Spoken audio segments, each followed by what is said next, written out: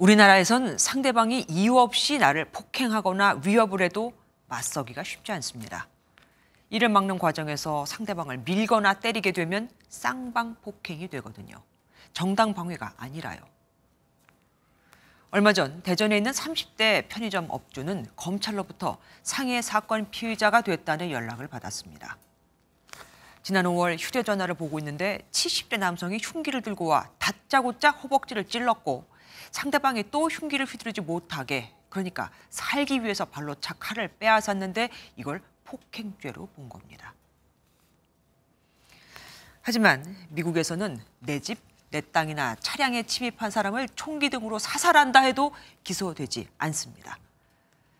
17세기 영국 판사 에드워드 코크가 집은 자신만의 성이며 그곳은 절대적으로 지켜져야만 한다고 판결한 캐슬 독트린을 적용하고 있거든요. 이건 정당 방위의 토대가 됐죠. 그러면은 정당 방위가 인정되려면은 먼저 물어봐야 돼요. 도둑님 흉기 들고 오셨습니까? 9년 전 자택에 침입한 강도를 빨래 건조대로 때려 의식 불명 상태에 이르게 한 20대 청년에게 실형이 선고되자 있었던 논란인데 아직도 그대로죠.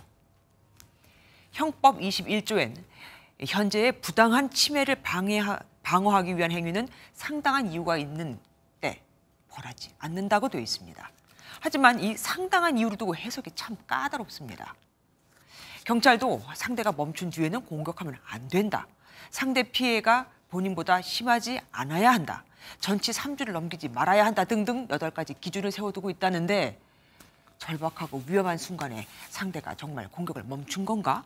내가 이렇게 했을 때 상대방이 전치 3주를 받을까? 2주를 받을까를 따지면서 대처하는 게 과연 가능하겠습니까? Stand your ground. 도망가지 말고 맞서 싸우라는 의미의 이 말은 광장이나 쇼핑몰, 전철역 같은 곳에서 치명적 위협에 맞닥뜨리면 총과 같은 무기로 대응해도 된다는 의미입니다.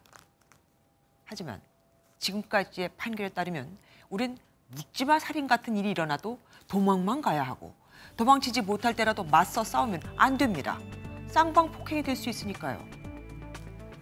흉포하는 범죄는 하루하루 늘어만 가는데 검경과 법원은 살겠다고 정한 사람에게 쌍방 폭행이나 들이대고 있으니 역시 우리 법은 가해자 편이 맞나 봅니다.